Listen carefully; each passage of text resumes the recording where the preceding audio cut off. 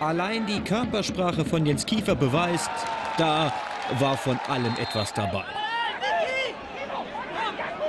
Und ja, tatsächlich, viel mehr Regionalliga-Unterhaltung als das, was Blau-Schwarz und Grün-Weiß gestern anboten, geht nicht.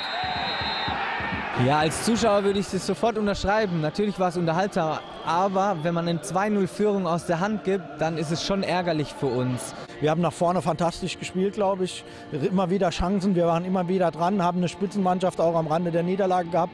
Aber wir machen einfach zu viele Fehler in der Defensive und das kostet, kostet uns enorm viele Punkte.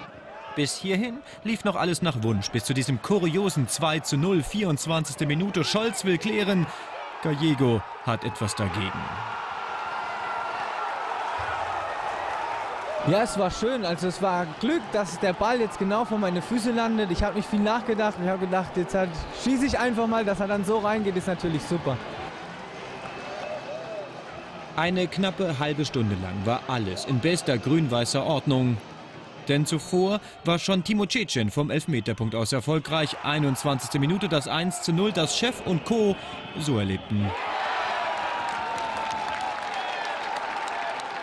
Der FCH hat den Tabellendritten im Griff. Und zwar fest. Bevor dieser Griff dann aber gelockert wird und Mannheim immer häufiger entwischen kann. 35. Minute. Benedikt Köp. Anschlusstreffer. Erstmals ist die ersatzgeschwächte Homburger Defensive ausgespielt. Czolak und Fischer fehlen schon länger. Lensch verletzt sich während der ersten Halbzeit. Gleich drei Stammkräfte der Viererkette fehlen nun also. Dennoch zur Pause eine 2 zu 1 Führung und weiter Optimismus. Der dann aber schnell weichen muss. Philipp Förster.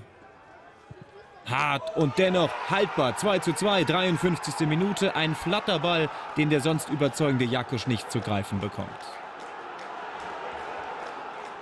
Vermeidbar ist dann noch mehr das Stichwort für den Mannheimer Siegtreffer. Erst verliert Gäbler seinen Zweikampf, Danach rutscht Gallego ins Leere.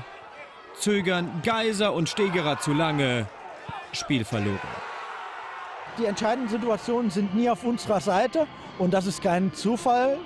Da fehlt einfach was. Was denn? ja, vielleicht auch auf manchen Positionen ein bisschen an Qualität, vielleicht auch ein bisschen an Cleverness ähm, und vielleicht auch ein bisschen an, äh, ja, an dem letzten Willen, das alles, alles zu machen. Und ähm, ja, da muss man dran arbeiten. Aber wir, wir, wir, wir tun daran arbeiten und ich glaube, es wird, es wird alles gut. Ich glaube, wir, ähm, wir kriegen das hin. Zeit dafür haben sie jetzt ja. Bis Mitte Februar ist erstmal Winterpause.